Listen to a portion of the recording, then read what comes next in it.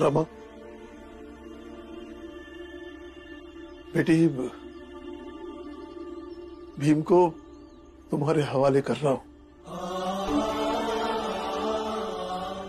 संभालना उसे। वादा करती हूँ बाबा। चाँद दे दूँगी। लेकिन उन्हें खरोच तक नहीं आने दूँगी।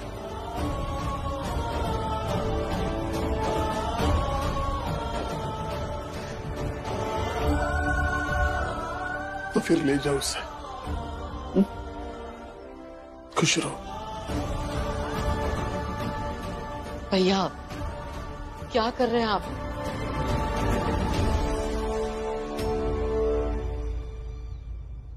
भीम को अपने से दूर करने के बारे में सोच भी कैसे सकते हैं? मीरा हिमा बाई हमसे मरकर अलग हो गई। लेकिन मैं बहुत बदकिस्मत इंसान हूँ। कि मैं जीते जी सबसे अलग हो रहा हूँ।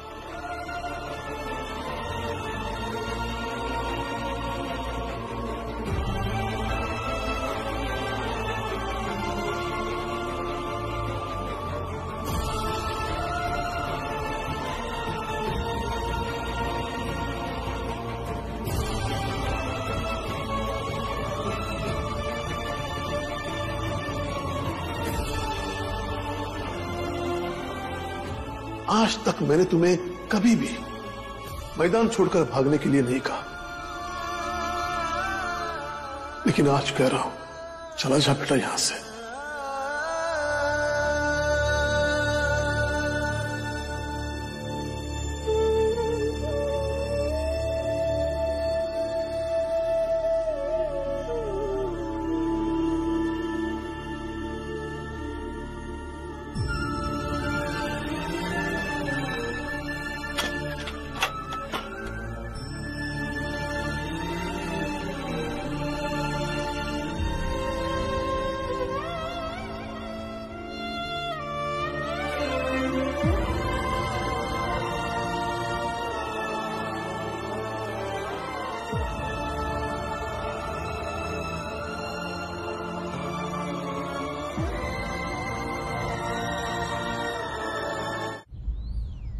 बचपन से लेके आज तक मैंने जितनी भी लड़ाइयाँ लड़ी है, उन सारे संघर्षों पर आज का ये भाग जाना भारी पड़ गया, रमा। देखिए, मुझे नहीं मालूम मेरा घर छोड़ने का निर्णय कितना सही है और कितना गलत लेकिन इतना जानती हूँ। अभी इस हाल में युद्ध से भाग जाना ही सही है। मैं रहने की व्यवस्था कर लूँगी। बस आपको और मुझे पहचान छुपा कर रहना होगा।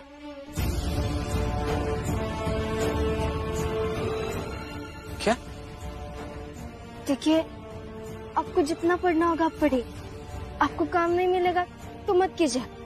मैं सब कुछ संभाल लूँगी और कैसे न किसी करके चल जाएगा। लेकिन किसी को पता नहीं चलना चाहिए कि आप कौन है और मैं कौन रमा बचपन से लेके आज तक पहचान के लिए लड़ाई की है मैंने। और अभी तुम कह रही हो पहचान छुपाओ? कैसे छुपाओ? बस कुछ दिन की बात है। जैसे मौसम खराब होता है तो हम घर में चले जाते हैं ना? वैसे समझ लीजिए। अभी मौसम खराब है। कुछ दिन की बात है। मान जाइए ना।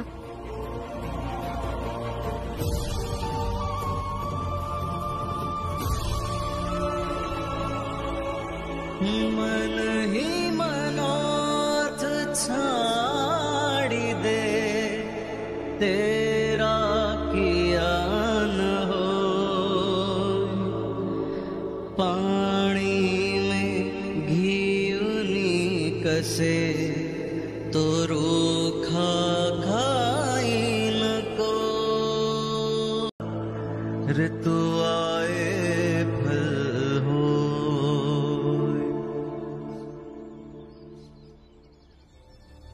रमा और भीम कहाँ जा रहे हैं? अरे रमा!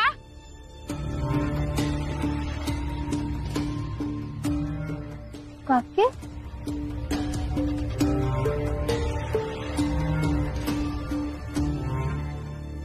गोलू पंकज? जो काम मैं इतने दिनों से नहीं कर पा रहा था प्रचंड देव जी ने यूँ दो दिन में कर दिया। कमाल है। आइए आइए। लीजिए। मिठाई खाइए। खुशी का दिन है। क्या हुआ? अरे क्या नहीं हुआ? भीमराव उसकी पत्नी रमाबाई दोनों दोनों चौल छोड़कर चले गए।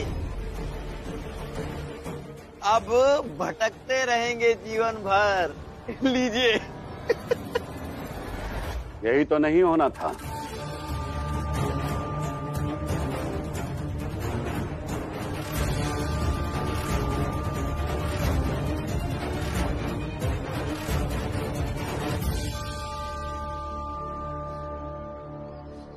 उसे ढूंढना ही होगा। अरे लेकिन लेकिन क्या आवश्यकता है उसे ढूँढने की?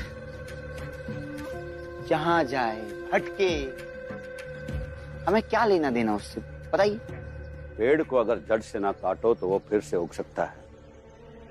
क्योंकि भीमराव जहाँ भी जाएगा हमारी जात और हमारे धर्म को दूषित करेगा। इसलिए उसका यहाँ हमारे सामने खत्म होना ज़रूरी है। जाओ। उस भीमराव को ढूंढो और ढूंढ कर उसे वापस उसी चौल में भिजवाओ। जाओ।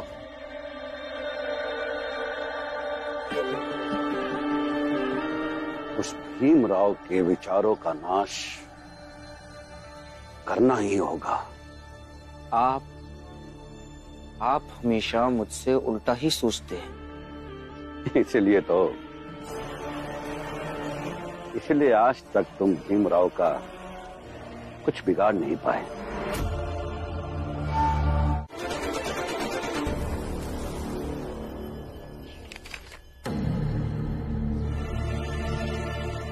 ये क्या लिखा है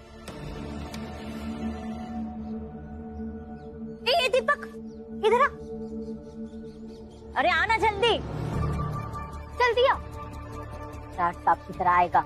ये पढ़ के दिखा जरा क्या है।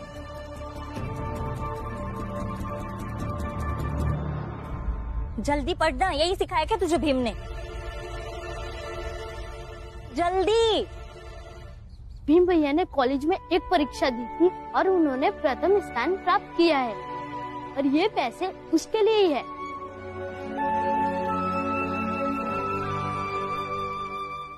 अच्छा जा तू। ये ले ये भी रख ले। जा।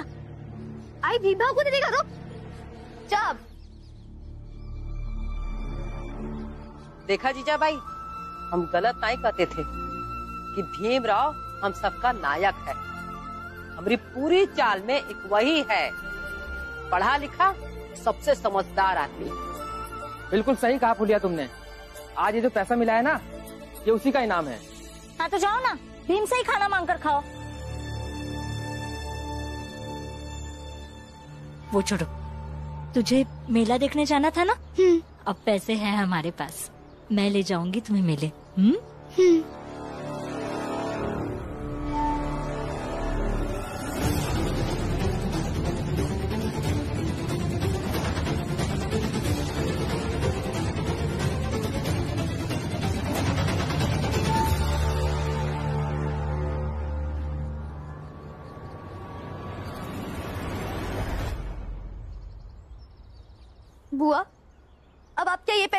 को देने जाएँगी? नहीं। पैसों का मोह आ गया होगा मन में है ना?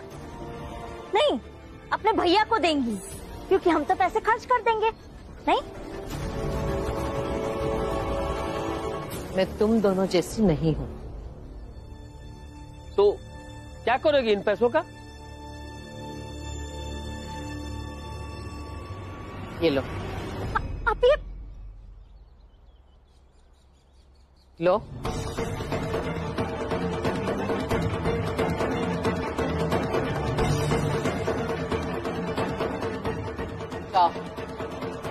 जाके सबके लिए राशन लेकर आओ। इतने पैसों में इतना राशन तो आ ही जाएगा कि सबके घरों में पाँच छह दिन का खाना तो बन ही जाएगा। बाकी की बाद में देखेंगे। जाओ। हुआ? अब ये पैसे ऐसे कैसे होने दे सकती है? इसमें क्या हक है इनका? दीजिए आप मुझे। अरे क्यों नहीं हक है। भीम के कारण ही हम लोगों का राशन बर्बाद हुआ। अब इन्हीं पैसों से राशन ले आएँगे। ये क्या बात हुई? ये सही तरीका है आपका पैसा हड़पने का? अरे कहाँ सही तरीका है? हाँ? बुआ जी सही कह रही हैं। ई पैसा माँ हम सबका हक है। हम सबका। अरे हमारा हक बनता है। हाँ हाँ हम सबका हक है। बिल्कुल है। हाँ हम सबका हक है।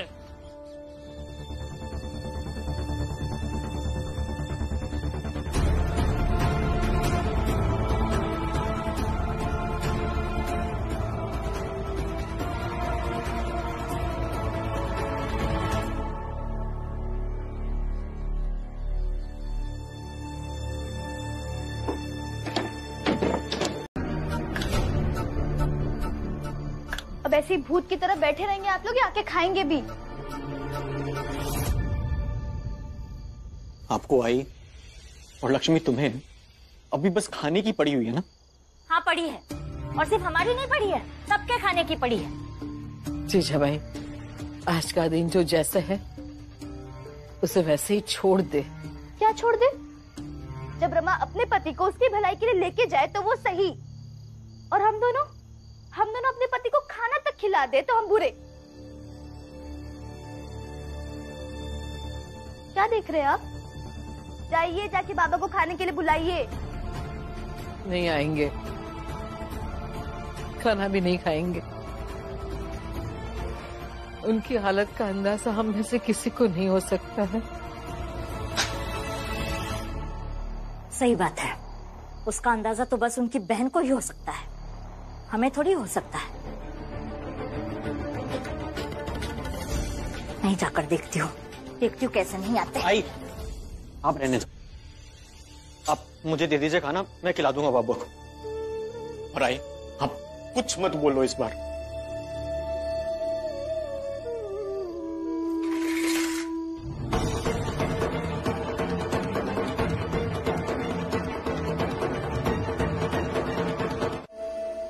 नहीं।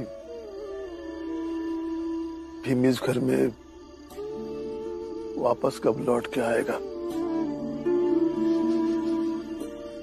आएगा भी नहीं।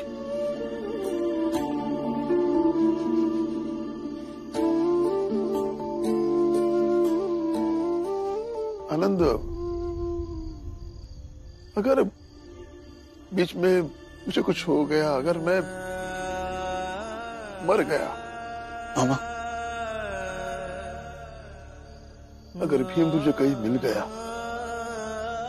तो उसे ज़रूर कहना कि वो जब घर छोड़कर चला गया था तो उसके बाबा बहुत दुखी थे मजबूर थे।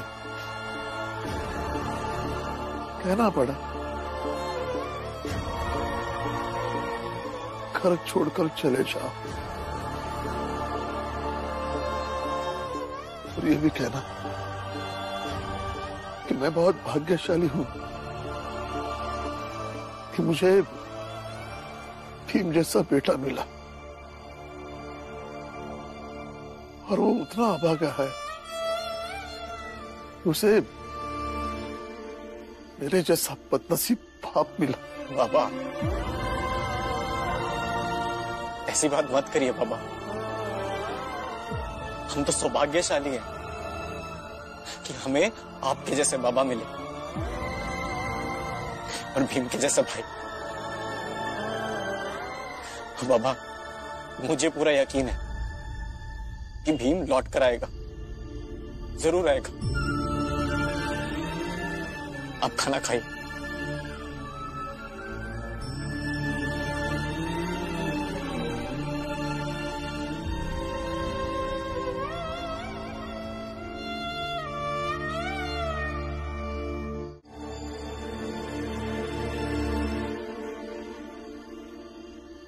अगर कोई व्यक्ति पूरे जीवन भर समाज को, मनुष्य को योग्य रास्ते पर चलना सिखाता रहे और उसकी मृत्यु के उपरांत समाज उसके बताए हुए मार्ग का अनुसरण करे तो उस व्यक्ति की मृत्यु उसके जीवन के समान महत्वपूर्ण हो जाती है।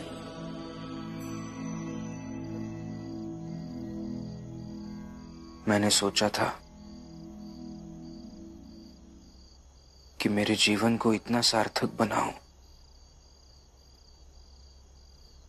कि मेरी मृत्यु भी जीवन जैसे महत्वपूर्ण लगे।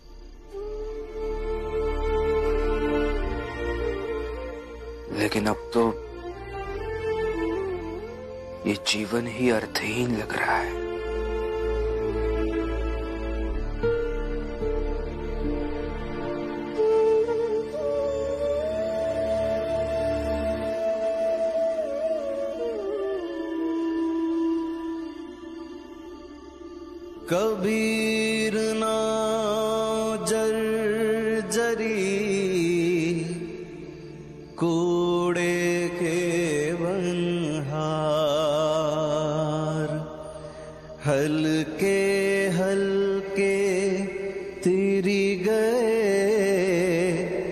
बूढ़े तिनी सरभा।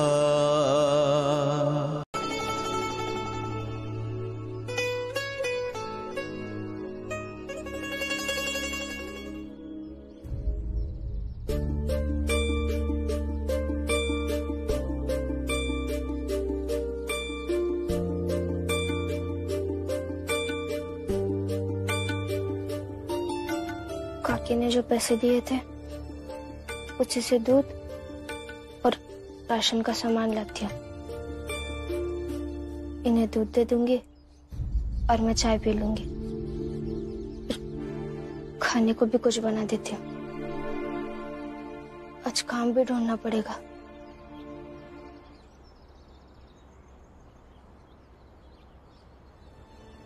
लेकिन इनको कैसे पता चलेगा कि मैं कहा गई हूँ?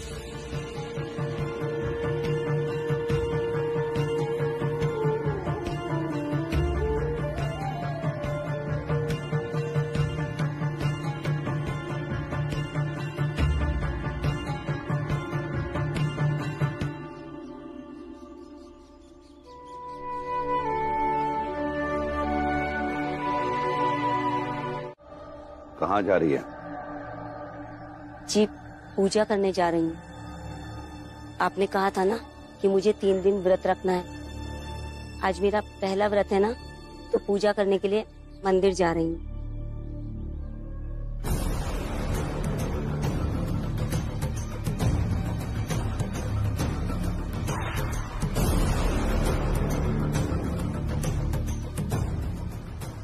मंदिर क्यों?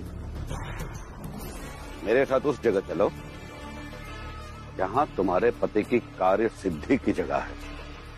मतलब प्रचंड देव जी पूजा थीम के चाल में होगी। पूजा के नाम पर धुआ धुआ होगा। कई बार हवन के धुएँ से भी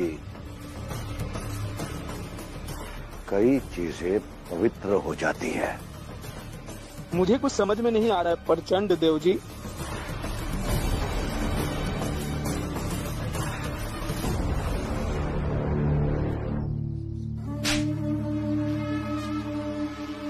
छोटी जाति के लोग चकमा देकर भाग गए। जहर खाकर मर क्यों नहीं जाते तुम लोग? जाकर हवन सामग्री लाओ। लाओ। जी।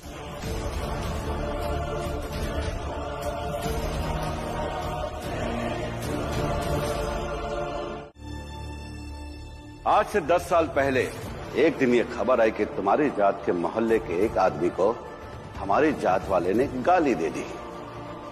और जानते हो पलटकर उसने क्या कहा? उसने कहा, साहब, गाली मत दीजिए।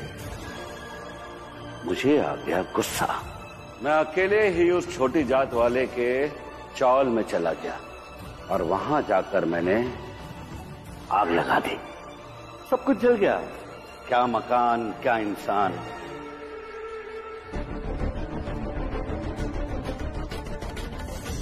कहीं वो हमारी चाल तो नहीं जला देगा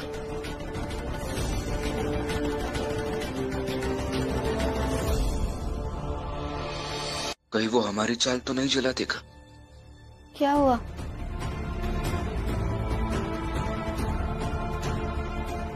रमा वो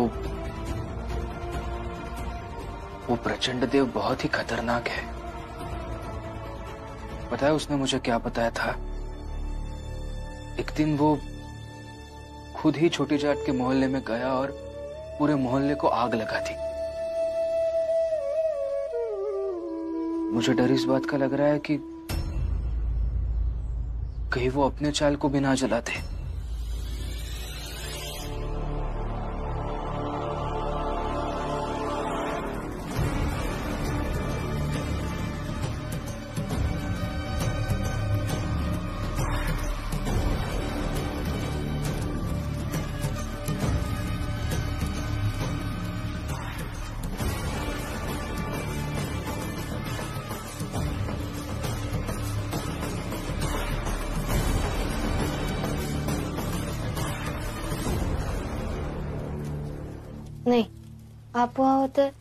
ज़रूर वो जलाता लेकिन आप वहाँ नहीं है तो वो ऐसा नहीं करेगा। क्योंकि दुश्मनी आपसे है। और दुश्मनी की आग से अगर दुश्मन ना जल से तो आदमी को चैन नहीं मिलता है। वो ऐसा कुछ नहीं करेगा। आप विश्वास रखिए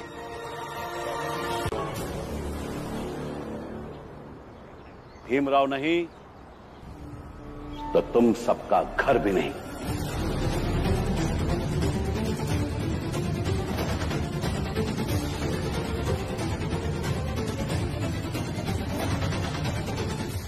और करो नफरत भीम से। जीवन में तुम लोगों को इस मोड़ पर लाके खड़ा कर दिया है कि अगर तुम्हें कोई वापस अपने घर ले जा सकता है तो वो है हमारा भीम। लेकिन अब मैं चाहूँगी कि वो कभी ना मिले किसी को। बस ए, बुढ़िया चुप कर।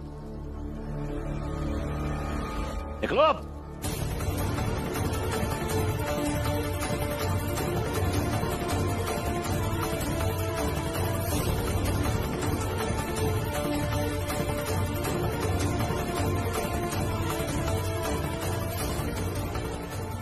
भीमराव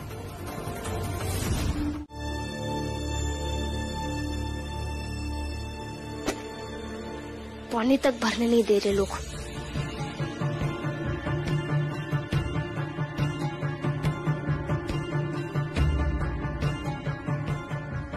सुनिए ना। हम्म।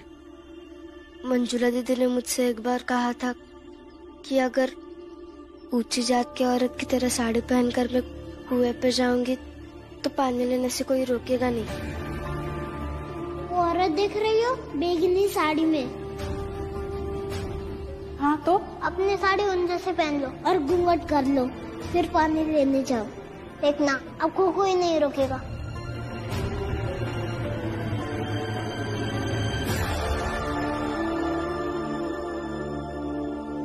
मैं सोच रही थी कि मैं भी ऊँची जात की तरह साड़ी पहनकर पानी लेने जाऊँ अगर आपको कोई दिक्कत नहीं हो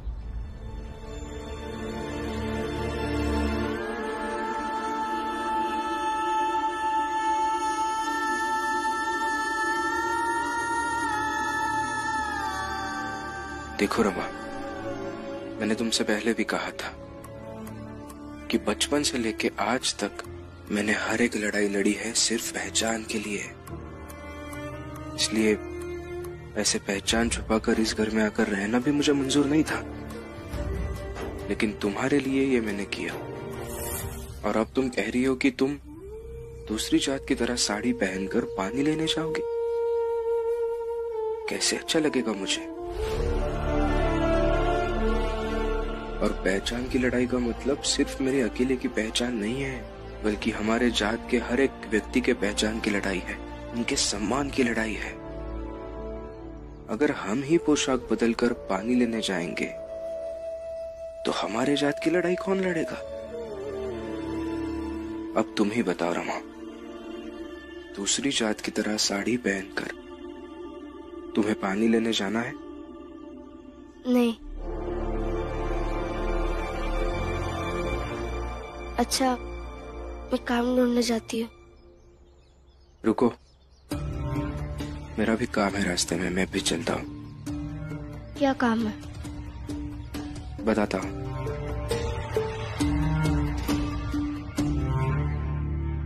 हाउ?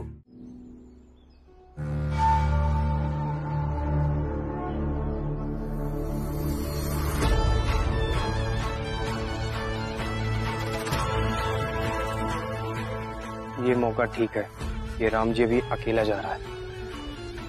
इसको पकड़ना ज़रूरी है।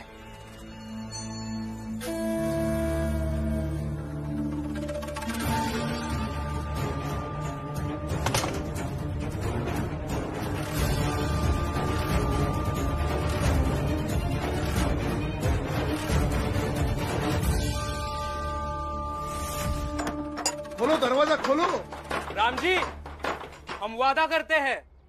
कि हमारे दोस्त नरोत्तम की दी हुई ज़िम्मेदारी निभाने में हम कोई कसर नहीं छोड़ेंगे। बस तुम ऐसे ही अंदर रहो ताकि हम बाहर का खेल अच्छे से कर सके। खोलो दरवाज़ा खोलो। और हम जा रहे हैं। तुम्हारे बेटे को प्रचंड देव के चंगुल में अच्छे से फंसाने। ऐसे ही चिल्लाते रहो पीटते रहो दरवाज़ा। खोलो दरवाज़ा खोलो। खोलो। चलो। खोलो दरवाज़ा खोलो। खोलो दरवाज़ा खोलो। खोलो।